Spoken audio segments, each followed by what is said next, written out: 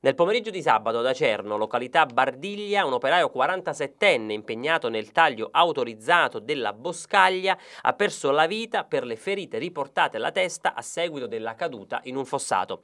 Non si esclude che l'uomo possa essere stato colpito accidentalmente da un tronco d'albero appena tagliato. Sono ancora in corso le indagini da parte dei militari della locale stazione dei carabinieri al fine di ricostruire dettagliatamente l'evento.